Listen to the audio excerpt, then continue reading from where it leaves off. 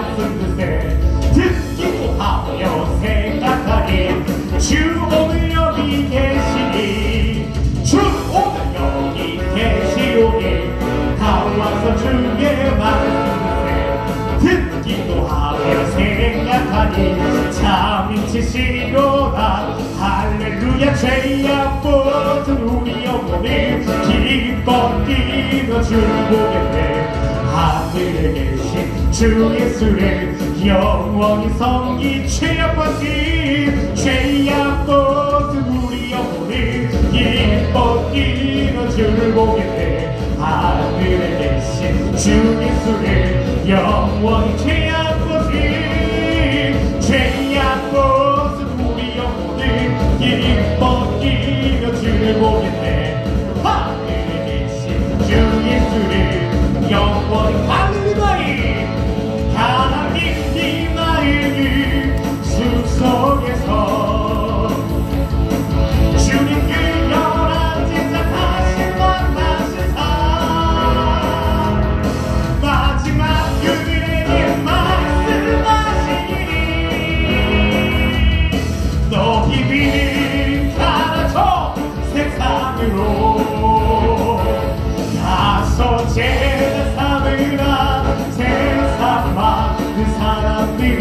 세상 모든 영혼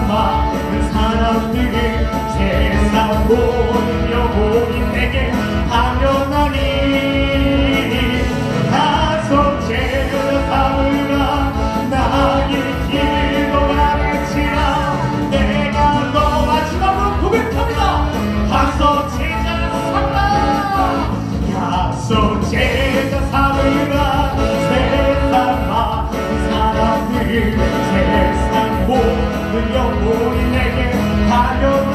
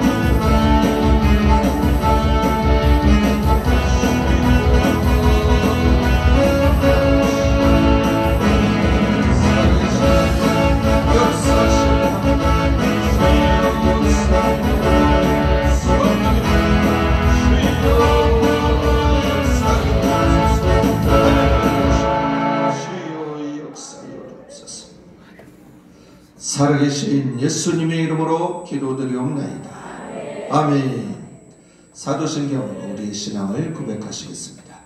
전능하사 천지를 만드신 하나님 아버지를 내가 믿사오니 그 외아들 우리 주 예수 그리스도를 믿사오니 이는 성령으로 잉태하사 동정녀 마리아에게 나시고 본디오 빌라도에게 고난을 받으사 십자가에 못 박혀 죽으시고 장사한 지 사흘 만에 죽은 자 가운데서 다시 살아나시며 하늘에 오르사 전능하신 하나님 우편에 앉아 계시다가 저리로서 산자와 죽은 자를 심판하러 오시리라 성령을 믿사오니 거룩한 궁녀와 서로 교통하는 것과 죄를 사하여 주시는 것과 몸이 다시 사는 것과 영원히 사는 것을 믿사옵나이다. 아멘. 하나님 말씀 보시겠습니다. 로마서 2장 로마서 2장 10절로 15절까지입니다. 로마서 2장 10절부터 15절입니다. 한 목소리로 합독하시겠습니다. 선을 행하는 각 사람에게는 영광과 존귀와 평강이 있으리니 첫째는 유대인에게요 또한 헬라인에게라 이는 하나님께서 외모로 사람을 취하지 아니하시느니라 무릇 율법 없이 범죄한 자는 또한 율법 없이 망하고 무릇 율법이 있고 범죄한 자는 율법으로 말미암아 심판을 받으리라.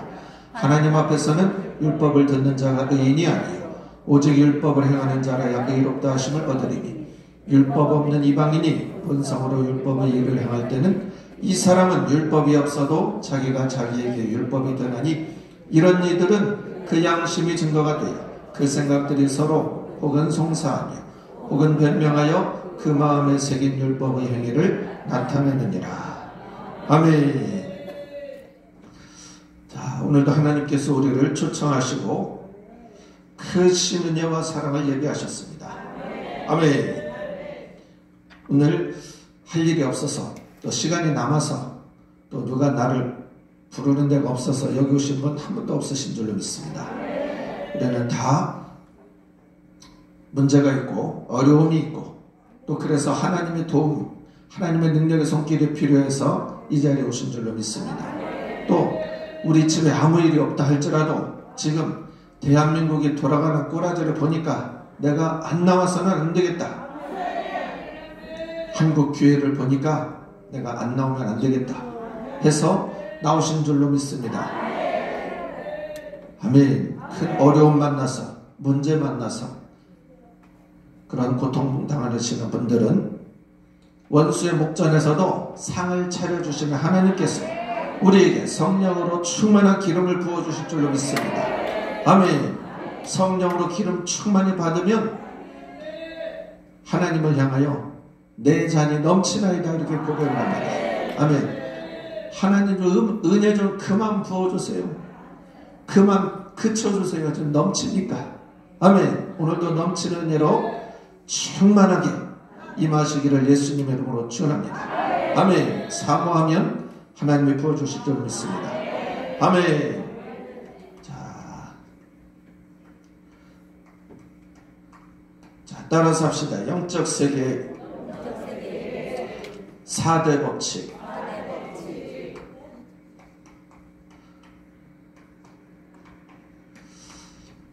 자, 우리가 살아가는 이 땅에도 각 나라마다 또 지자체마다 법이 있는 것처럼 영적인 세계에도 법이 있습니다. 아멘.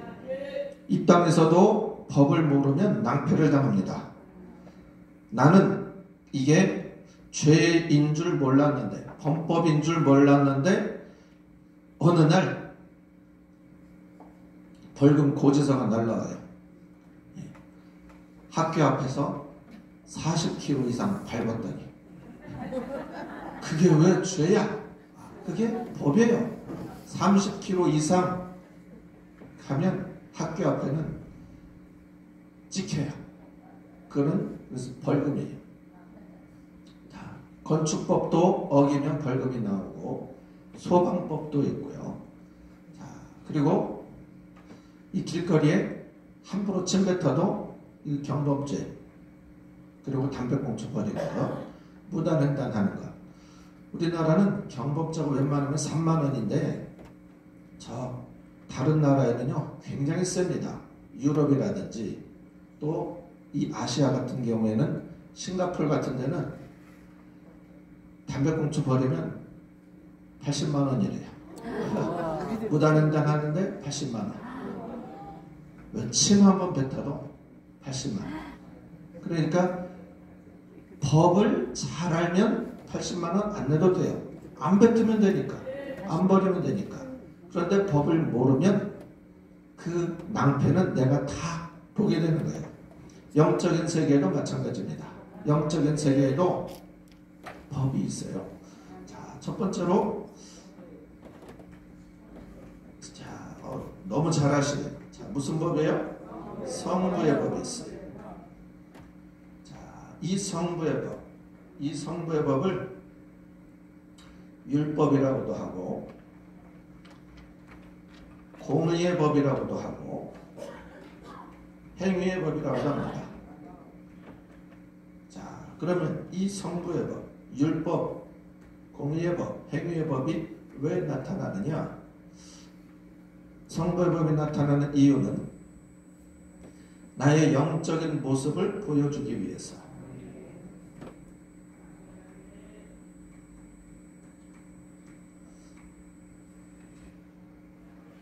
우리가 아침에 머리 감고 샤워하고 그러면 거울을 보고 드라이도 하고 또 화장도 합니다. 거울이 없으면 그렇게 못하죠. 그리고 틈틈이 거울을 봅니다. 밥 먹고 나면 거울도 봐요. 고춧가루가 꼈는지 어느 이빨 사이에 꼈는지. 자, 우리 외적인 모습은 반드시 거울을 봐야 돼요. 우리의 영은 육은 거울을 봐야 되지만 우리의 영은 어디에 비춰봐야 아냐 하면 성부의 법, 이 율법이 율법이 하나님의 말씀, 하나님의 말씀이 곧 영적인 거울입니다. 아멘. 아멘. 나의 영적인 모습, 이 율법이 하나님의 말씀이 나의 영적 상태를 비춰주는데 내가 하나님 말씀에 서 있는 내 자신을 볼 수 있어요. 하나님 말씀 앞에서만. 자, 하나님 말씀이 나를 비춰주시면 아, 하나님이 나를 보시고 지금 재앙을 내리려고 지금 내 머리 위에까지 내려가겠구나. 그러면 빨리 회개하시면 돼요. 아멘. 아, 하나님이 나에게 지금 축복을 주시려고 하는구나. 감사. 내가 하나님이 나에게 큰 선물을 준비하고 계시는구나. 모든 것들이 이 하나님의 말씀, 율법 앞에 서면 나타나게 돼 있어요. 아멘. 자, 이 율법은 총 613가지의 율법이 있어요. 모세를 통하여서 시내산에서 하나님 말씀하셨어요. 너희들은 이렇게 해라. 그 법, 법률과 또 이렇게 하지 말라. 하라 하지 말라 다 합쳐보니까 613가지가 돼요. 자, 이 성부의 법은 나타나는 목적이 왜 나타나느냐? 나의 영적인 모습을 보여주기 위해서. 아멘. 아멘. 그래서 저와 우리 성도님들은 기도도 해야 되지만 하나님의 말씀을 사랑하셔야 돼요. 아멘. 아멘. 성경을 보시면 성경 안에는 많은 지혜가 담겨 있고 성경을 읽을 때 내 모습을 볼 수 있게 됩니다. 아멘. 아멘. 자, 기도하시는 분들 너무 존경합니다. 대단하다고 생각하고 그런데 간혹 기도한다고 하는 분들 중에 맨날 막 집통 계시받는 분들이 있어요. 하나님이 뭘 보여줬다고 그러고 막 자기한테만 들려줬대요. 그런 사람 저도 여러 명 봤거든요. 나무는 열매를 보면 알 수 있듯이 그 사람도 그 사람의 영적인 상태는 그 사람의 삶을 보면 알 수 있어요. 직통 계시 받는 사람이 얼마나 거짓말 잘하고 욕심 많고 혈기 많은지 공동체를 깨뜨리는 자가 되고 이간질하는 자가 되고 교회를 흔드는 자가 돼요. 저희 교회는 왜 없었겠어요? 그런 사람 있었죠. 목회자 말도 안 들어요. 왜냐? 하루 5시간, 6시간 맨날 기도한대요. 그러면서 하나님이 보여줬대요. 그런데 들어보면 야 이게 과연 하나님이 보여주신 걸까? 하나님이 들어주신 걸까? 제가 판단할 때는 마귀가 다 속삭여 준 건데 지가 다 속아놓고 다 하나님이 보여주셨고 하나님이 들려주셨대요. 자, 저와 우리 성도님들은 기도도 해야 되겠지만 하나님의 말씀을 사랑하시기 바라겠습니다. 아멘. 디모데후서 3장에 바울이 자기 영적인 아들 디모데에게 네가 어려서부터 성경을 알았나니 성경은 능히 너로 하여금 그리스도 예수 안에 있는 믿음으로 말미암아 구원에 이르는 지혜가 있게 하느니라. 아멘. 그, 자, 구원에 이르는 지혜가 있게 하고 또 모든 성경은 하나님의 감동으로 된 것으로 교훈과 책망과 바르게 함과 의로 교육하기에. 유익하니 이는 하나님의 사람으로 온전하게 하며 모든 선한 일을 행하게 하고 행하게. 온전케 하려 함이라. 아멘. 그러니까 하나님의 말씀은 교훈도 있고 책망도 있고 바르게 함. 바르게 함과 의로 교육하기에 유익해요. 그러면 사도 바울 당시에 성경은 신약 성경이 있었어요? 없었어요? 없었어요. 아, 저 사- 말씀 띄워주세요. 16절부터. 여기에서 모든 성경은 모든 구약 성경은이에요. 자, 그러면 바꿔서 읽어보면 모든 구약 성경은 하나님의 감동으로 된 것으로 교훈과 책망과 바르게 함과 의로 교육하기에 유익하니 이는 하나님의 사람으로 온전하게 하며 모든 선한 일을 행하기에 온전하게 하려 함이니라. 아멘. 하나님 말씀 앞에 설 때 이 하나님 말씀 안에 구원에 이르는 지혜가 있고 아멘 바르게 하고 교훈과 책망과 의로 교육하기에 아주 유익한 것이 하나님 말씀이에요. 구약 시대에 하나님이 이스라엘 백성을 너무너무 사랑하셔서 율법을 주셨어요. 율법을 주신 이유는 하나님이 이스라엘 백성을 너무 사랑해서 사랑하는 사람한테는 왜 이렇게 할 말이 많아요? 할 말이 많아요. 사랑하면. 남의 자식한테는 야 너 밥 잘 챙겨 먹어라. 예의 바라라. 그런 얘기 안 하죠.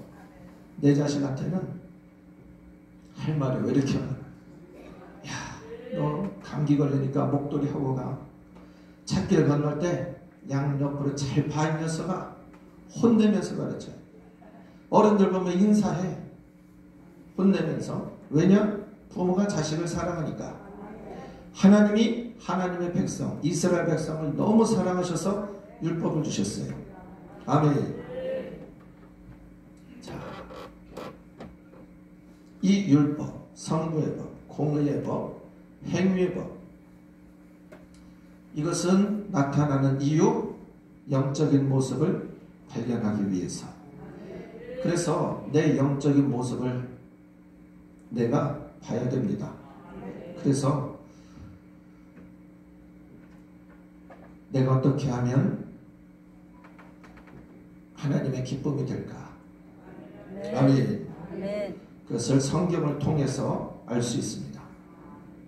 자, 그러면 성경 말씀을 잘 읽으면, 많이 보게 되면, 물론 성경을 읽는 자세가 중요하죠. 성경을 비판하려고 읽- 읽는다면. 또 성경을 생명으로 읽지 않고 지식으로 읽게 되면 교만이 됩니다. 그래서 하나님의 은혜가 아니에요. 성경은 하나님의 감동, 성령으로 기록된 것이기 때문에 성령의 도우심을 받아야 성경이 이해가 되고 깨달아지고 믿어져요. 아멘. 그리고 그 말씀에 순종하게 돼요. 아멘. 성령의 도우심을 받아야 아멘. 됩니다. 아멘. 아멘. 자, 그러면 성경을 읽는 분은 기도와 성경을 읽는 분은 그이 성부의 법이 나타나요. 그런데 성부의 법이 안 나타나는 사람은 성경을 안 읽는 사람에게는 거울을 못 보니까 자기의 영적인 모습, 영적인 상태가 어떤지 모르니까 이 사람에게는 하나님이 두 번째 보조율법을 주셨는데 그것이 양심입니다. 자, 따라서 합시다. 양심. 양심. 깨끗한 양심을 갖자. 아멘. 선한 양심을 갖자. 아멘. 자, 아까 본문 로마서 2장, 로마서 2장 13절, 14절 보겠습니다. 13절, 14절 합독하겠습니다. 하나님 앞에서는 율법을 듣는 자가 있니 아니요 오직 율법을 행하는 자라야 의롭다 하심을 얻으리니 율법 없는 이방인이 본성으로 율법의 일을 행할 때에는 이 사람은 율법이 없어도 자기가 자기에게 율법이 되나니 이런 이들은 약 그 양심이 증거가 되어 그 생각들이 서로 혹은 고발하며 혹은 변명하여 그 마음에 새긴 율법의 행위를 나타내느니라. 아멘. 율법의 도움을 받지 않는 사람은 양심이라도 깨끗해야 돼요. 왜냐하면 이 양심이 자 15절에 보니까 이런 이들은 그 양심이 증거가 되어 그 생각들이 서로 혹은 고발하며 혹은 변명하여 그 마음에 새긴 율법의 행위를 나타내느니라. 자, 양심이라도 깨끗해야 돼요. 그런데 성경에 보니까 양심도 다 같은 양심이 아니더라고요. 어떤 양심은 화인 맞은 양심이 있고, 어떤 양심은 죽은 양심이 있고, 어떤 양심은 파산한 양심이 있고, 더러워진 양심이 있고, 감각 없는 양심이 있어요. 그런데 반면에 선한 양심도 있고, 깨끗한 양심이 있어요. 하나님이 예수 믿는 사람이든 안 믿는 사람이든 누구든 다 양심. 양심이라는 기관을 두셨어요. 왜냐? 이 양심이 율법의 역할을 하게 하시기 위해서. 아멘. 그래서 예수 안 믿는 사람들도 양심이 살아있는 사람은 정직해요. 선한 일 합니다. 예수 안 믿지만 왜냐하면 그 안에 양심이 깨끗해서 양심이 제 기능을 발휘하니까 저와 우리 성도님들이 선한 양심, 깨끗한 양심을 다 소유해야 될 줄로 믿습니다. 아멘. 아멘.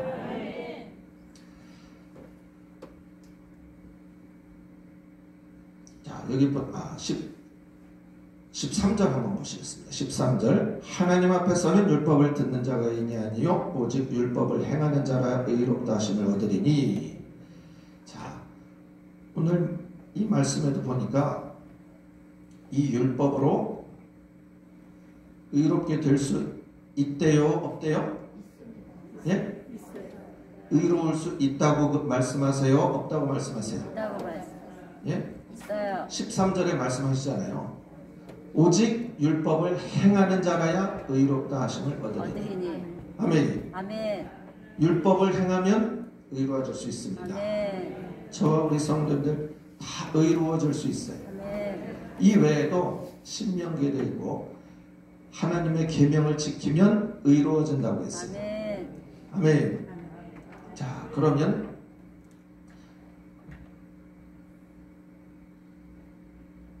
자, 이 율법은 자, 하나님이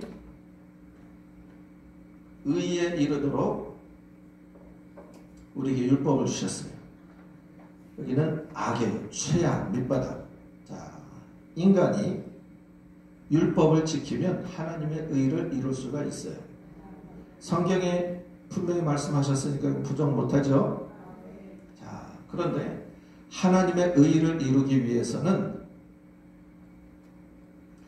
613가지인데 이 중에서 한 가지만 어겨도 내가 여기 99% 이룬 이 의가 한 가지만 어겨도 다 무너지게 돼 있어요. 그리고 613가지의 율법을 평생 자- 다 지켰어요. 근데 죽기 전에, 죽기 전에, 뭐 화를 팍 냈어요. 그- 그러면 내가 평생 여기 하나님의 의에 도달하기 위해서 지켰던 율법이 다 무너지게 돼 있어요. 자, 그래서 하나님의 의를 이루기 위한 이 율법은 우리는 다 자기 나름대로 자기 점수를 다 매기고 있어요. 아, 나는 이 정도 신앙생활 하니까 한 60점은 되겠지. 반은 넘었겠지. 어떤 사람은 아, 나는 70점. 나는 80점. 그러니까 요 20점, 30점 되는 사람을 이 위에 있는 사람들이 비판을 해요. 정죄를 해요. 아유, 저것도 집사야? 저술 처먹는 게? 아유, 저 담배 피는 게 저, 아유, 같은 교회 데는 창피하다, 창피해. 안 그러실까요? 저만 그러나? 그렇게 주름하실까요? 그래요, 안 그래요? 그래요. 네, 다 그래요. 네. 정죄합니다. 맞아. 비판해요. 자기는 조금 낫다고. 이건, 이건 내 기준이에요. 하나님이 보실 때는 똑같아. 율법은 빵점 아니면 100점이에요. 100점짜리 이 땅에 있을까요? 없을까요? 없어요. 없어요. 이 100점짜리는 예수님밖에 없어요. 아멘. 죄 없으신, 흠도 없고 죄 없으신 하나님이신 그분, 인간의 네. 육신을 입고 이 땅에 오신 예수님은 100점짜리예요. 아멘. 그런데 예수님 외에 모든 인간은 다 빵점이에요. 만점. 네. 아멘. 아멘. 그러면 우리가 신앙이 어린 사람들, 교회 안에서 못된 짓 하는 사람, 죄 짓는 사람, 정죄하면 돼요, 안 돼요? 안 돼요. 안 돼요. 하나님 보실 때는 똑같. 다 똑같아요. 문재인 너무 욕하지 마세요. 이재명 너무 욕하지 마세요. 이재명이나 나나 똑같아요. 똑같아요. 하나님 보실 때 똑같아요. 맞아. 인정을 안 하시는 것 같은데 아멘. 하나님 보실 땐 똑같습니다. 똑같아. 아멘. 아멘. 아멘. 오늘 이재명이 지금 국가에 해를 얼마나 많이 끼쳤어요. 따라서 합시다. 누구도 누구도 정죄하지 말자. 정죄하지 말자. 누구도 누구도 비판하지 말자. 비판하지 말자. 아멘. 아멘. 내 힘으로 하나님의 의를 이룰 사람은 없어요. 없어요. 아멘. 아멘. 그런데 왜 성부의 법이 왜 나타나야 되느냐? 율법으로, 성경으로, 또 성경을 모르고 또 글을 못 읽거나 그런 분들은 성경을 못 읽으니까 제가 어릴 때만 해도 시골 교회에 글을 모르시는 분들이 계셨어요 몇 분. 오늘날은 거의 없을 거예요. 그런데 간혹 계시더라고요. 간혹 교회 안에 오시는 분들 중에 그러니까 이제 창피하니까 성경을 들고 오세요. 성경을 들고 오시는데 딴 데를 엉뚱하게 펴놓고 있어요. 이제 그거 안 들키려고. 그건 뭐 창피한 건 아니죠. 얼마나 가정 환경이 어려웠으면 학교도 제대로 못 다니셨겠어요. 자, 그러면 성경을 모르거나 성경을 안 읽는 사람에게는 양심이라도 깨끗해야 되는데 그러면 율법의 역할을 양심이 해요. 이 속에서 소리쳐요. 너 죄졌어. 너 나쁜 놈이야. 너 지옥 갈 놈이야. 너 이렇게 해서 하나님의 의를 어떻게 이루려고 그래? 양심의 가책을 느끼면 아 내가 어찌할꼬 어찌할꼬가 나와야 돼요. 아멘. 아멘. 이 찬양을 한곡 영광 돌리고 말씀 나누겠습니다. 가시관을 쓰신 예수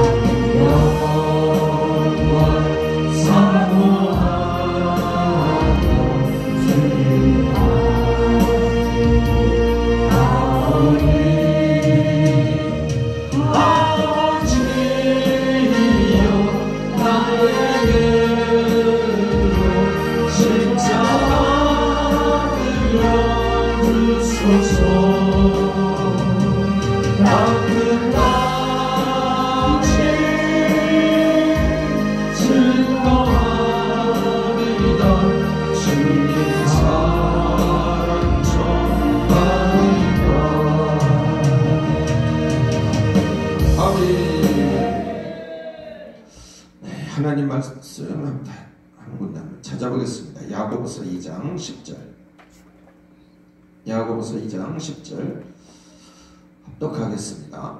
누구든지 온 율법을 지키다가 그 하나에 거치면 모두 범한 자가 되나니 자 분명히 말씀하고 있죠.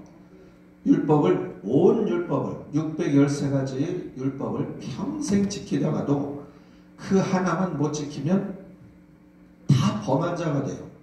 하나 어긴 자나 613가지 다 어긴 자나 다 범법자가 돼요. 죄인이 돼요. 그래서 하나님의 의를 이루지 못해서 불의한 자가 돼서 불의한 자는 하나님의 진노가 돼요. 하나님의 진노를 피할 수가 없어요. 아멘. 율법을 다 지키면 하나님의 의를 이루게 되고 네. 하나라도 못, 못 지키면 불의한 자가 돼요. 네.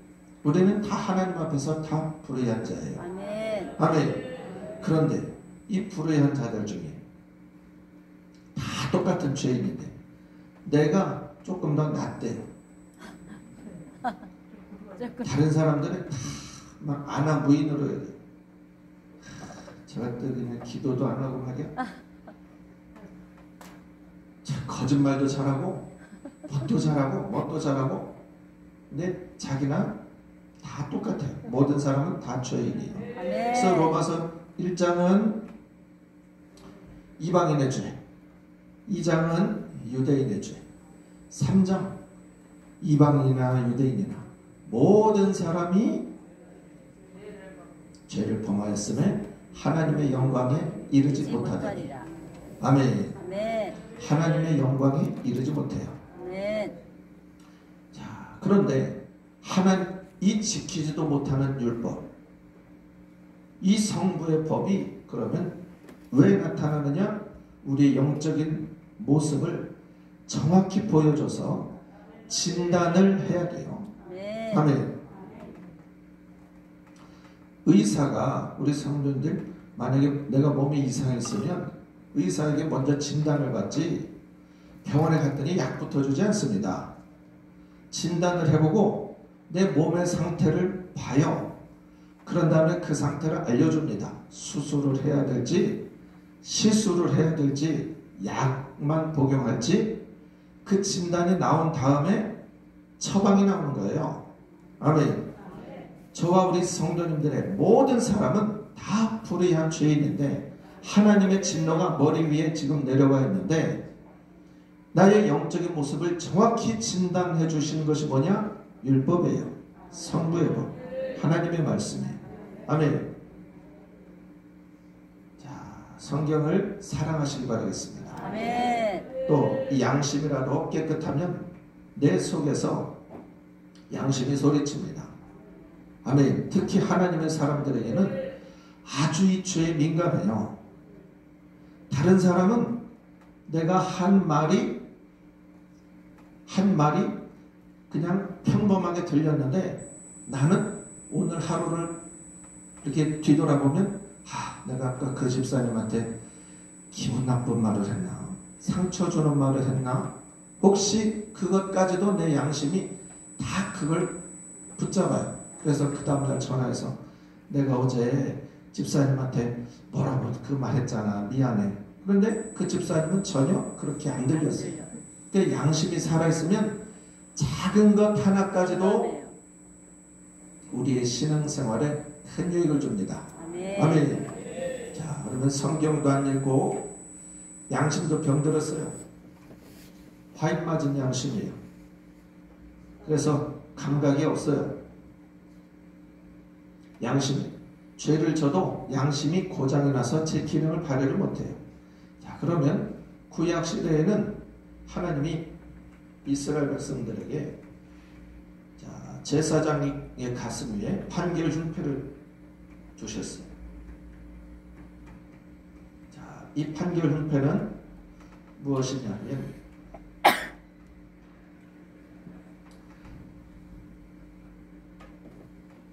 이스라엘 백성이 애고에서 나왔을 때 장정만 60만이에요. 그런데 제사장은 대제사장을 하나고 그 많은 이 60만 장정만 60만이기 때문에 이 대제사장 가운데 하나님이 가슴에 판결 흉패를 달게 하셨는데 이 판결 흉패는 가슴에 이렇게 해서 이내 좀 끈을 묶게 해서 가슴에 달았어요. 보석을 12개. 왜 12개예요?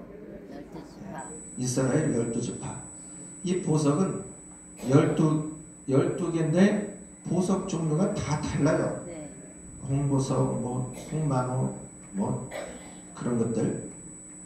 그래서 이 보석 위에다가 열두 지파의 이름을 새겼어요. 이름을. 그래서 대제사장이 아침에 일어나서 자기 가슴에 달린 판결 흉패를 보면 이 열두 보석들 중에 다 빛이 나면 이 이스라엘 백성 진영 장정만 60만인 그 진영에 죄가 안 들어온 거예요. 그런데 이 어느 한 보석에 빛을 잃었어요. 다른 보석은 빛이 나는데 그러면 예를 들어서 이 첫째 아들 루벤이 이름이 적힌 이 보석이 빛이 안 난다. 그러면 대제사장은 루벤 지파장을 부르고 야 너희 지파에 하나님이 하늘 보좌에 지금 죄가 감지되었다. 그래서 너희 지금 만부장들 다 오라고 해라. 그래서 미숙이 장한테 전화를 해서 만부장님들 오라고 해. 문자를 해서 모여라. 그래서 제비를 뽑아요. 그래서 거기에 걸리면 다른 만부장은 돌아가고 제비에 걸린 그 만부장은 너 밑에 천부장들 오라고 해라. 그래서 또 천부장을 모아서 제비를 뽑고 제비 뽑고 천, 그 걸린 천부장은 또 그 밑에 백부장 오라고 해서 뽑기 하고 백부장 밑에 오십부장 오십부장 밑에 십부장. 십부장이 걸린 그 십부장은 야 너희 밑에 있는 가장들 가장들 데리고 오라고 해라. 다 그래 가장들 데리고 와서 제비를 뽑아 딱 뽑았더니 아간이 딱 걸리는 거예요. 아간. 이 아간 때문에 아이성 침공하다가 전쟁도 패하고 군사도 죽게 되죠 아간의 범죄 때문에 자 이렇게 이 판결 흉패는 하나님이 이 방법으로 이 도구로 사용하셨어요. 아멘. 자, 구약의 모든 사건은 신약의 그림자예요. 네. 아멘. 네. 이스라엘 백성이 광야에서 원망불평하다가 불뱀에 물려 죽었어요. 죽어 나가야. 그래서 모세가 기도해 하나님 이 백성들 어떻게 할까요? 야 장대 끝에다가 노소로 뱀을 만들어서 못을 박아놓고 그 달아라. 그거 쳐다보면 날 거야. 아멘. 그 사건을 두고 예수님은 뭐라고 말씀하셨느냐? 모세가 광야에서 뱀을 든 것 같이 인자도 들려야 하리니 이는 그를 그를 믿는 자마다 영생을 얻게 하려. 네. 그 장대에 달린 그 놋뱀은 그림자예요. 장차 예수님이 십자가에 달려 못 박혀 죽으실 것이 진짜 실체고 모세 당시의 그 놋뱀은 그림자예요. 자, 그러면 구약 시대 대제사장 가슴에 달린 이 판결 흉패도 그림자일까요? 실체일까요? 실체. 그림자예요. 그림자. 그러면 신약 시대에 오늘 오늘날 목회자의 가슴에도 판결 흉패가 있어요. 오늘날 목회자의 가슴에는 이런 열두 보석이 아니고 보이는 이 보석이 아니고 목회자의 가슴에도 판결 흉패가 있어요. 참 신기한 것은 저는 부교육자 생활을 좀 오래 했거든요. 한 12년, 13년 그러다 이제 개척을 했는데 부교육자 생활할 때는 담임 목사의 그 심정을 몰라요. 제가 꼭 뭐와 같으냐? 예. 철없는 아이가 이 세상 지식을 다 아는 것처럼 큰소리 뻥뻥 치죠. 부교육자 때는 꼭 그래요. 저는 전광호 목사님을 알게 된 지가 한 20년, 만 20년이 넘었는데 전광호 목사님은 그래도 일찍 만난 것이 얼마나 축복인지 저 부교육자 생활하면서 가르치신 대로 그 말씀대로 교회를 뭐 성도들을 내 사람 만들거나 분란하거나 담임 목사님의 뭐 그런 거에 대적하거나 대항하거나 저는 절대 안 했어요. 그게 무서운 줄 알았기 때문에 그러- 그러면 절대로 축복이 안 되기 때문에 그래서 저도 부교역자로 있으면서 담임 목사님처럼 성도들을 사랑했고 맡겨주신 사명을 감당을 했어요. 그런데 전도사 때도 그렇고 부목사 때도 그렇고 많은 분들이 그러시는 거예요. 야 정전도사, 야 정목사, 부교역자하고 담임 목사하고는 하늘과 땅 차이야. 담임 목사의 마음을 부교역자는 이해를 못해. 저는 그때 좀 서운했어요.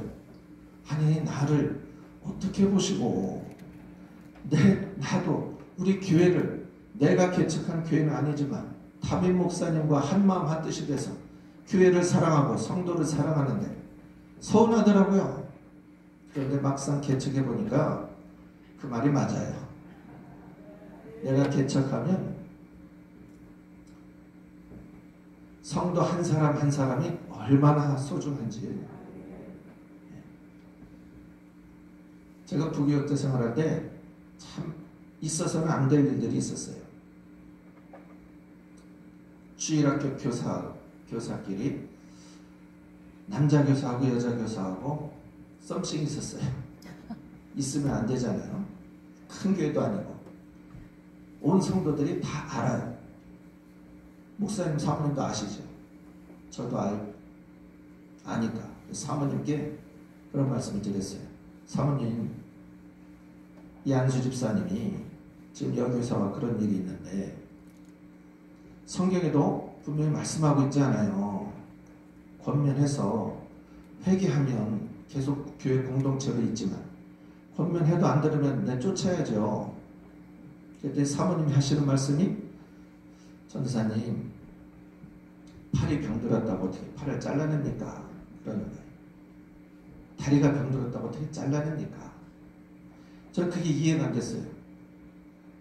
그리고 교회 안에 보면 참 보기만 해도 그냥 축복 기도가 저절로 되는 분이 있는가 하면 딱 그 사람 뒷모습만 봐도 아우 저거 왜 교회 붙었는지 모르겠다. 저 물건 좀 나갔으면 좋겠다. 그런 물건들이 있거든요. 그런데 개척해 보니까 그 물건들이 다 소중하더라고요. 얼마나 소중하지 한지 그리고 간이고 쓸개고 다 빼주고 싶어요. 하나님이 언젠가 변화시켜 주시겠지. 기다리자. 참고 참고 기다리고 그래 나도 저랬지. 나도 예전에 저렇게 철없을 때 그랬지 하고 다 이해가 돼요. 제가 왜 이 말씀을 드리느냐? 담임 목사님의 시- 심장 속에는 우리 성도님들의 이름이 다 새겨져 있어요. 아멘. 굳이 한 사람 한 사람 신방 안 가봐도 우리 성도님들의 영적 상태를 담임 목사님은 다 웬만한 성도님들은 다 체크가 돼요. 기도하면 아, 이 성도님 지금 영적으로 다운되어 있구나.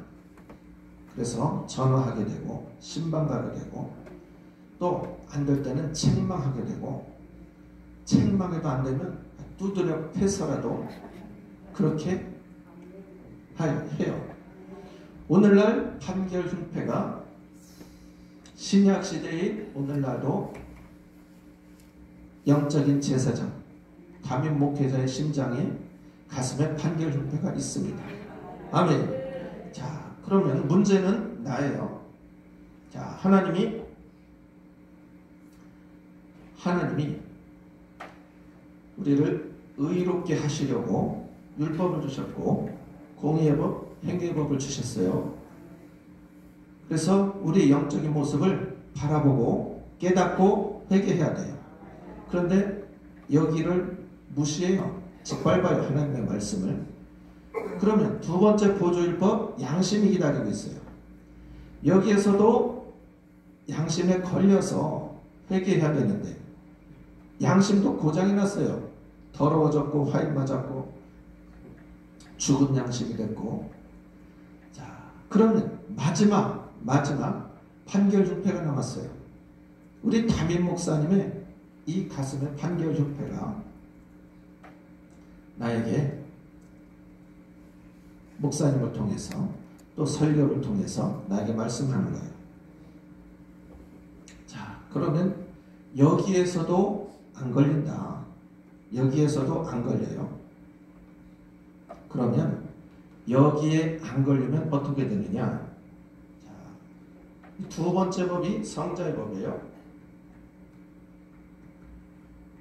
자, 이 성자의 법을 믿음의 법이라고도 하고 속죄의 법이라고도 해요. 세 번째가 성령의 법이에요. 이 성령의 법을 생명의 법이라고 합니다. 자, 네 번째가 마귀의 마귀의 법이에요. 성부의 법이 왜 강하게 나타나야 되느냐? 자, 또한 가지 설명을 드릴게요. 예수님께서도 이 땅에 오셔서 율법에 대해서 말씀하셨어요. 내가 율법을 폐하러 온 줄로? 온전케 예수님 폐하러 오셨어요? 아니요 아니에요. 율법을 더 견고하게 촘촘히 해서 율법을 완성하러 오셨어요. 아멘 이 율법은 꼭 뭐와 같으냐? 그물과 같아요. 그래서 이 그물, 이 그물 코보다 큰 고기는 여기 다 걸려요. 이것이 구약의 율법이라면 예수님의 율법은 이걸 더 촘촘하게 해서 찬멸치까지도 싹 걸리게 하셨어요. 찬멸치. 그래서 우리가 밥상에 잔멸치 보면 새우 새끼도 걸려 있고 꼴뚜기도 걸려 있고 다 섞여 있죠. 왜 예수님이 율법을 이렇게 하셨느냐? 자, 성부의 법에 걸려야 두 번째 성자의 법이 그 사람 심령에 임하게 돼 있어요. 여기에 안 걸리고 성부의 법을 짓밟고 피해가는 사람은 어디에 사로잡히느냐? 네 번째, 마귀의 법에 사로잡혀요. 아멘. 자, 그리고 이 성부의 법을 이 땅에서 피해 갔다고 치, 치자고요. 그러면 이 성부의 법이 어디에서 나타나느냐? 백보자 심판대 앞에서 나타나요. 이 심판대 앞에서의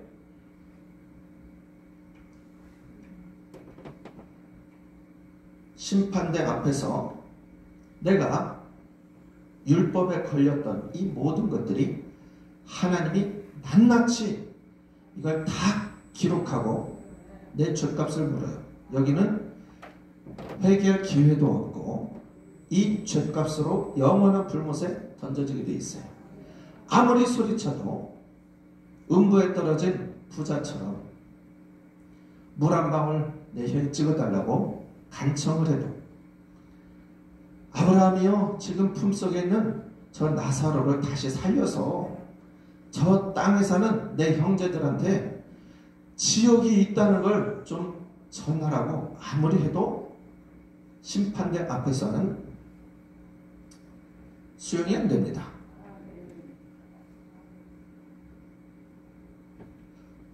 아시는 분들은 아시겠지만 제가 약한 2년 10개월 전에 죽음 앞에 갔었거든요. 근데 중환자실에서 제 몸이 공간 이동을 했어요. 또 다른 현실에서 엄청난 끔찍하고 그 무서운 고통을 당했는데 저하고 비슷한 거의 비슷한 체험을 하신 분이 있더라고요.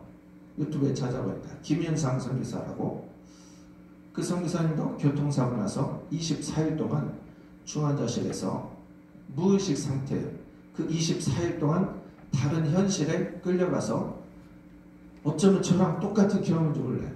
그 내용만 다르지. 그 선교사님은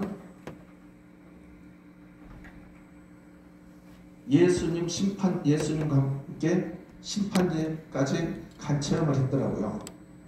심판대 앞에 갔더니 자기가 살아온 그 모든 것들이 영화 영화 필름처럼 다 이렇게 지는데 보여지는데 여기서는 오리발도 못 내밀어요. 별명도 못해요. 그러면서 옆에서 이 심판대 옆에 누가 있느냐? 사탄이 죄가 나올 때마다 하나하나씩 다 지적하더라고요. 예수님 얘, 얘 이런 죄 졌어요. 이 죄 졌어요. 이 죄 졌어요. 이 죄 졌어요. 마귀가 그렇게 사탄이.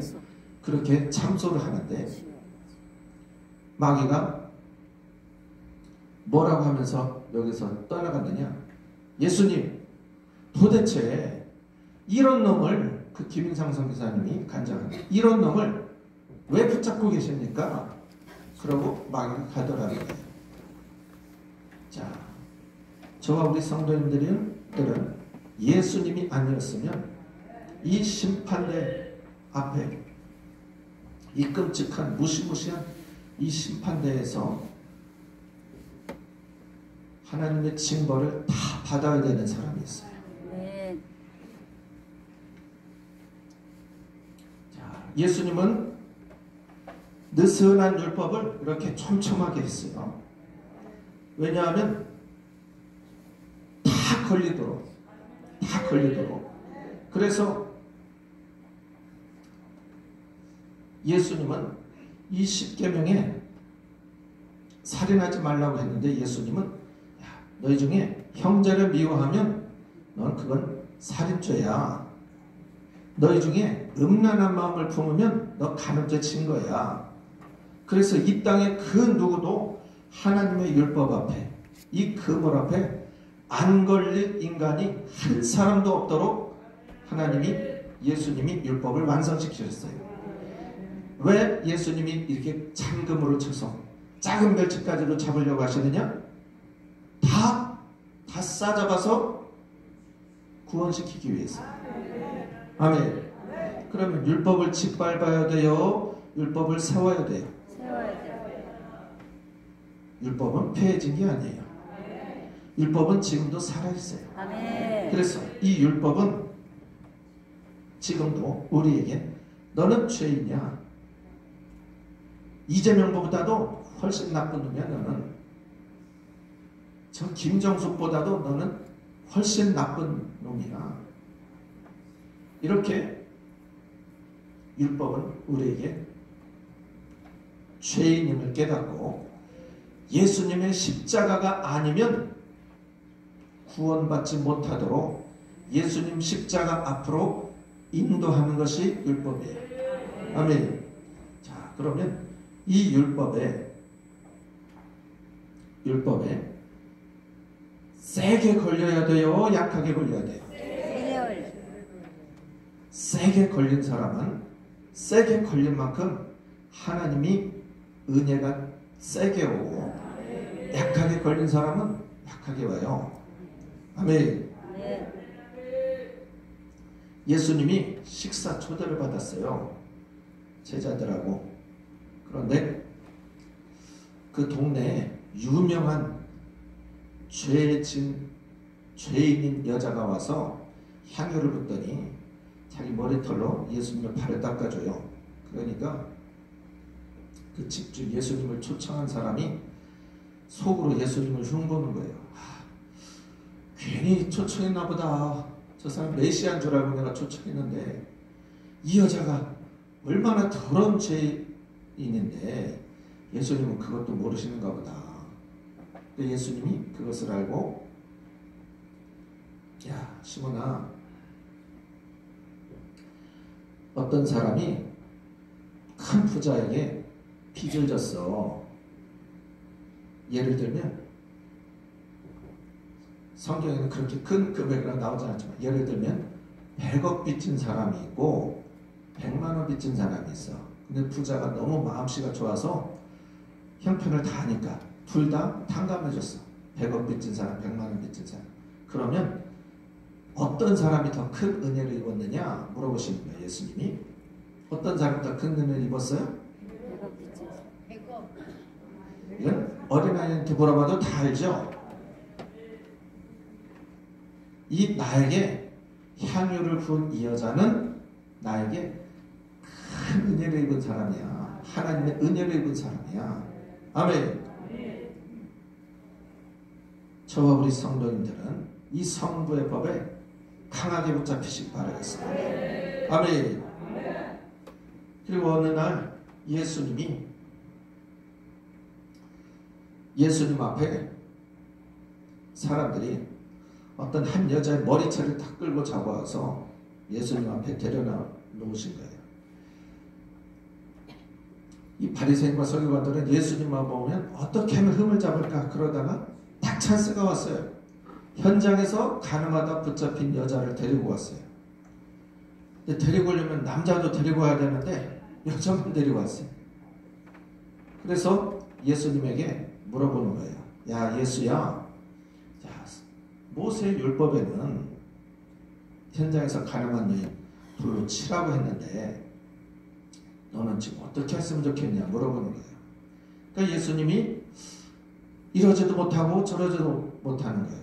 야 율법에 명한 대로 야 돌로 치지 왜 나한테까지 데려왔냐 그렇게 얘기하시면 사랑이 없다고 그러고 또 야 우리 야, 이 여자 그래도 물어보고 초범인지 재범인지 좀 물어보고 초범이면 그냥 풀어줘라. 그러면 율법을 짓밟는 사람이 돼요. 그래서 예수님이 땅에다가 뭐라고 막 글씨를 쓰세요. 자, 그리고 또 두 번째 땅에다 글씨를 쓰시면서 예수님이 그 사람들에게 뭐라고 말씀하세요? 예?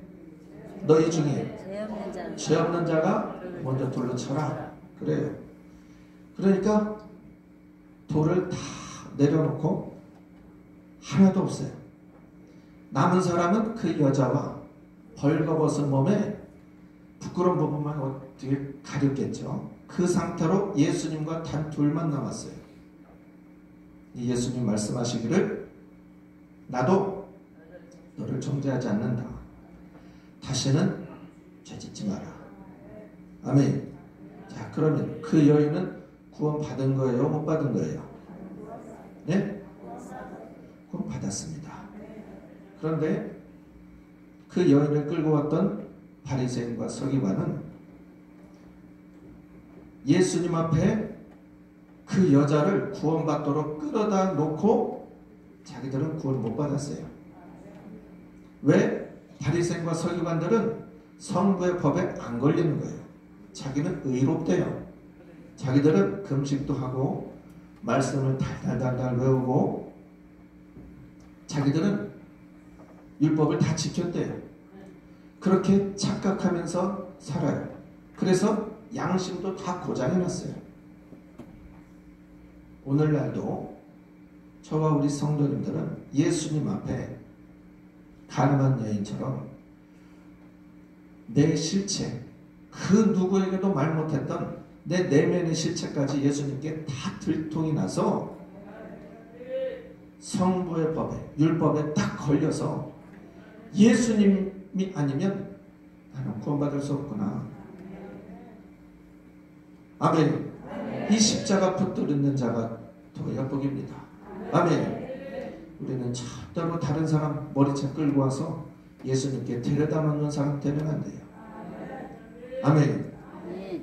아마 제가 제가 볼 때는 아마 그 여인이 간음죄 범했으니까 구원받았지. 간음죄 안 범했으면 부모 그것도 현장에서 걸렸으니까 구원받았지. 그 안 걸렸으면 몰래 몰래 죄 짓다가 지옥 갈 뻔했어요. 아멘. 우리도 똑같아요. 우리도 예수님 앞에 걸려야 돼요. 아멘. 로마서 로마서 3장 한번 보겠습니다. 로마서 3장.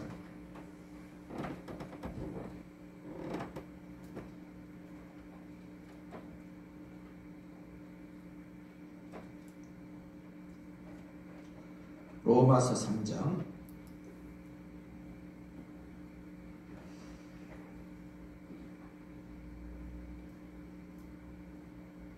20절부터 24절까지 로마서 3장 20절부터 24절까지 합독하겠습니다. 그러므로 율법의 행위로 그의 앞에 의롭다 얻을 육체가 없나니 율법으로는 죄를 깨달으니라. 이제는 율법에 하나님의 한 의가 나타났으니 율법과 선지자들에게 증거를 받은 것이라. 곧 예수 그리스도를 믿음으로 말미암아 모든 믿는 자에게 미치는 하나님의 의인이 차별이 없느니라. 모든 사람이 죄를 범하였음에 하나님의 영광에 이르지 못하더니 그리스도 예수 안에 있는 구속으로 말미암아 하나님의 은혜로 값없이 의롭다 하심을 얻은 자 되었느니라. 아멘.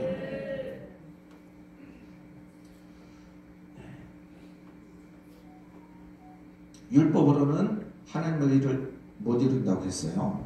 아멘. 아, 이룰 자가 없다고 했어요. 율법을 지키면 의를 이루죠. 율법을 율법으로 의를 이룰 사람은 아무도 없습니다. 아멘. 그런데 하나님이 이 율법을 다 지키면 하나님의 의를 이루는데 하나님의 의를 이룰 수 있는 방법을 하나 주셨어요. 그것이 십자가예요. 예수님이. 아멘. 자, 21절 이제는 율법 외에 하나님의 한 의가 나타났으니 율법과 선지자들에게 증거를 받은 것이라. 곧 예수 그리스도를 믿음으로 말미암아 모든 믿는 자에게 미치는 하나님의 의인이 차별이 없느니라. 자, 그래서 이것을 믿음의 법이 믿음의 법. 믿음이 그냥 율법 613가지를 지키지 않아도 내가 죄인임을 깨달아 예수님을 믿으면 그 믿는 동시에 하나님의 의를 이루게 돼요. 아멘. 네. 그런데 이 하나님의 의가 어떻게 이루어지느냐? 자, 24절. 그리스도 예수 안에 있는 구속으로 말미암아 하나님의 은혜로 값없이 의롭다 하심을 얻은 자 되었느니라. 그리스도 예수 안에 있는 구속으로 말미암아. 자, 구속이라는 말은 조금 이게 우리에게 안 와닿아요. 요즘 요즘 번역된 개혁 개정에는 이것을 속량으로 돼 있어요. 속량. 속량 곧 죄 사함을 받았느니라. 아멘. 자, 구속은 하, 저 이재명이나 구속하지 왜 나를 자꾸 구속이라고? 구속은 당연 안 와닿죠? 이게 속량이에요. 속량. 자, 이 속량이라는 단어는 사도 바울이 자주 인용하는 단어예요. 바울 서신에서 왜냐? 사도 바울은 이방인의 사도로서 로마 교회 로마 교회에 편지한 것이 로마서잖아요. 이때는 종인이 있었어요. 종. 예수님 당시에도 종이 있었고 바울 당시에도 이 로마에 종이 있었는데 역사적인 기록에 의하면 월화수목금토일 이 중에 요일마다 노예 시장이 열렸는데 월, 예를 들면 월요일은 젊은 남자종, 화요일은 늙은 남자종, 수요일은 젊은 여자종, 목요일은 늙은 여자종, 뭐 아이종 이런 것들 요일마다 다 그게 정해져 있어서 노예 종을 사기 위해서는 그거 안 알아봐도 돼요. 아 오늘 수요일이구나. 그럼 수요일은 젊은 여자 종 파는 날이구나. 그게 보편화되어 있어요. 자 종들은 우리가 생각하는 우리 조선시대 머슴이 아니에요. 이때 당시의 종들은 피부가 다르고 여러 민족이기도 하고 피부가 다르고 그리고 종은 이 주인의 소유물이에요. 그래서 그것을 표시하기 위해서 여기 어깨나 등에다가 불도장을 찍어요. 그 도장이 예를 들면 김씨 그 불도장을 찍으면 영원히 김씨의 소유물이에요. 그래서 돈이 필요하면 그 노예를 내다 팔기도 해요. 그래서 돈으로 바꾸기도 해요. 로마에 주로 이어져 행해졌던 것이 노예 시장인데 이 노예 시장에 나온 노예들은 아주 처참합니다. 목에 목걸이가 있어서 여기에 가격표가 붙어 있어요. 예, 몸값이에요. 몸값. 그리고 발목이나 요 목이나 쇠사슬이 다 채워, 채워져 있어요. 그래서 이때 당시에는 노예들이 종들이 도망치는 경우가 많았다고 그래요. 그래서 이 도망간 노예들을 잡는 경찰 부서가 따로 있을 정도였어요. 그러면 이 도망간 노예들을 잡아보면 아주 죽도록 팹니다. 죽도록 패서 정신 차리게 한 다음에 아주 수치를 줘요. 평생 수치를 주는데 뭐냐? 여기 이마나 이 볼에다가 도망자라는 또 불도장을 찍어요. 그러면 여기에 이 성경에도 말씀한 것처럼 화인 맞는 거예요. 화인 불도장을. 그러면 얼굴이나 이마에 불도장이 찍힌 종들은 노예 시장에 나오면 값이 비쌀까요? 쌀까요? 싸죠. 이 노예들은 이 철창 안에다가 보통 우리가 뭐 펜션이나 그런 데 가면 뭐 6인실, 8인실 있잖아요. 그런 한 10명, 10인실 되는 공간에다가 3, 40명을 다 집어넣고 돼지우리처럼 그렇게 지내는 거예요. 화장실도 따로 없고 밥 먹는 식도구가 없어요. 그릇이나 쟁반이나 포크가 전혀 없어요. 내 음식 던져주면 돼지처럼 주워 먹고 거기서 싸고 거기서 자는 거예요. 몸에 얼마나 냄새가 날 것이며 피부병이 많을 것이며 이 뱃속에 기생충이 얼마나 많겠어요. 그 종들을 노예시장에 내놓, 내놓고 이 노예들의 소원은 오늘 팔려가는 게 소원이에요. 왜 집에 돌아가면 또 맞아요. 여기 도망, 도망자라고 해서 도망자 낙인 찍힌 애도 또, 또 두드려 맞고 돼지우리 같은 데 가서 또 살아야 돼요. 그러니까 그 노예 살아온 사람들을 보면서 애틋한 눈망울로 나 좀 사주세요. 그런 눈빛으로 기다리는 거예요.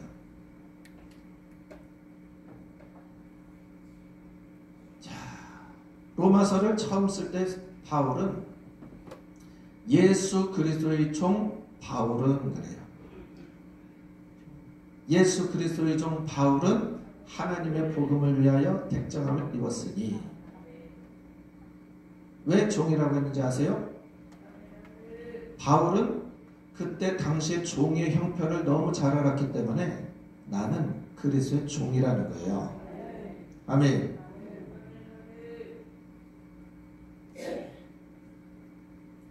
왜 종이라고 한 이유는 시간 관계상 말씀 안 드릴게요. 자기는 종이라는 거예요. 그 노예 시장에서 나온 종들은 하나같이 비참해요. 자, 여기 있는 저와 우리 성도님들도 다 사탄에게 화인 맞은 사탄의 종이었어요. 아멘. 그것도 사탄에게 화인 맞은 그래도 착한 종은 도망이라도 안 가지. 도망가가지고 12번도 더 잡혀온 종들이 저와 우리 성도님들이에요. 그래서 이사야 선지자는 53장 6절에 우리는 다 양 같아서 그릇 행하여 각기 제 길로 갔거늘 여호와께서는 우리 모두의 죄악을 그에게 담당시키셨도다. 우리는 다 양 같아서 짐승 같아서 각기 제 길로 갔어요. 각기 제 길로 갔다는 것은 온갖 죄의 길로 갔다는 거예요. 도망 다니면서 하나님 피해 다니면서 율법도 피해 다니고 양심도 피해 다니고 요리조리 피해 다니면서 온갖 죄만 쌓았어요. 그러다가 노예 시장에 내, 내놓인 종들이에요. 목에는 몸값이 거- 적혀 있어요. 이런 비참한 우리를 어떤 사람이 마차에서 탁 내리더니 버버리 코트를 탁 입고 아주 부자가 탁 내리더니 가격표가 걸려있는 수많은 종들 중에서 나를 딱 지목하는 거예요. 볼에 불도 잘 지킨 나를. 나를 지목하면서 나를 사겠다는 거예요. 그러니까 상인이 말려요. 아유, 회장님, 얘는 안 됩니다. 얘가 얼마나 큰 죄를 범했는지 아십니까? 자, 비슷한 사람이 나오죠. 빌레몬서에 오네시모가 빌레몬의 종이었는데 도망갔어요. 빌레몬에게 큰 해를 끼치고. 그래서 감옥에서 바울을 만나서 오네시모가 예수님을 영접해요. 그래서 감옥에서 오집사가 돼요. 출소해서는 오목사님이 돼요. 자, 이 부자가 내려서 이 종들을 수많은 종들 중에 값도 안 나가는 제일 뺀질뺀질한 이거 사 가봐야 또 도망갈 게 뻔한 그 종을 값을 지불하고 사가시는 거예요. 사가셔놓고 집에 데려가시더니 목욕을 다 시키고 아주 비싼 최고급 우리 여자 종에게는 드레스를 입히고 남자 종에게는 정장을 입히고 손에 가락지를 껴주고 동사무소 데려가서 호적 신고를 해요. 이제부터 너는 내 아들이다. 내가 갖고 있는 이 모든 재산 앞으로 다 네 거다. 아멘. 마귀에게 붙잡혀 있던 저주 아래에 붙잡혀 있던 저와 우리 성도님들을 하나님께서 예수 그리스도의 피값을 주고 우리를 속량하셨어요. 속량이라는 단어가 종의 몸값을 주고 산 것을 속량이라고 그래요. 아멘. 갈라디아서 3장 13절에 13절 14절 합독하겠습니다. 그리스도께서 우리를 위하여 저주를 되사. 자, 13절 합독하겠습니다. 그리스도께서 우리를 위하여 저주를 되사. 율법의 저주에서 우리를 속량하셨으니 기록된 바 나무에 달린 자마다 저주 아래에 있는 자라 하였습니다. 이는 그리스도 예수 안에서 아브라함의 복이 이방인에게 미치게 하고 또 우리로 하여금 믿음으로 말미암아 성령의 약속을 받게 하려 함이니라.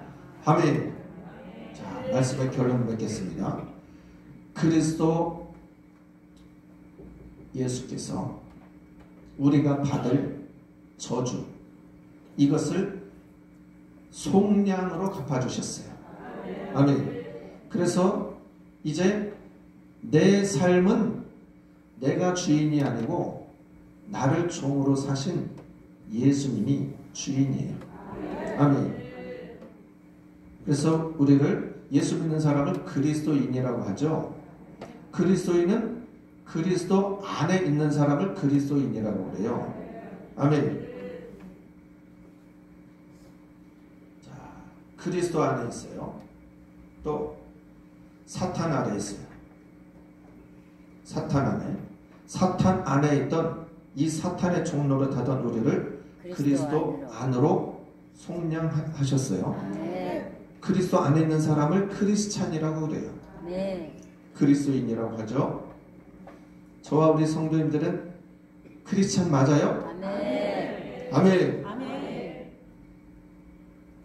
네, 양쪽에 왔다 갔다 하는 사람을 크리스탄이라고 그래요. 사탄 안에 있다가. 그리스도 안에 있다가. 교회 온갖 문제를 일으키고 아, 어느 때 보면 야, 예수님이 있는 것 같은데 어느 날은 완전 사탄 짓을 하네. 자, 재밌다. 이 속량의 은혜를 깨달았다면 속량의 은혜를 깨달은 자 성자의 법이 강하게 온 사람은 특징이 있어요. 율법을 지키라고 하지 않아도. 율법을 지키려고 해요. 네. 이 은혜가 너무 감사해서 네. 나 같은 비천한 종을 이 핏값을 주고 속량을 하셨으니까 이제 나는 나를 종으로 사주신 이 은혜, 나를 양자 삼아주신 이 은혜에 감사해서 야, 어떻게 하면 나의 주인님이 기뻐하실까?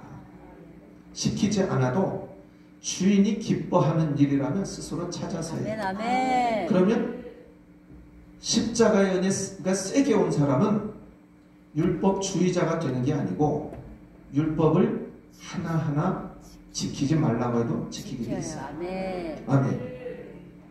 저와 우리 성도님들은 성자의 법으로 하나님의 은혜의 법으로 충만해서 네. 하나님이 맡겨주시는 사명이면 사명 무슨 일이든 일 직분이든 이 모든 것들을 날마다 감사함으로 잘 감당하여서 네. 하나님의 기쁨이 되시기를 예수님의 이름으로 축원합니다. 아멘. 찬양하고 기도하시겠습니다. 이 보혈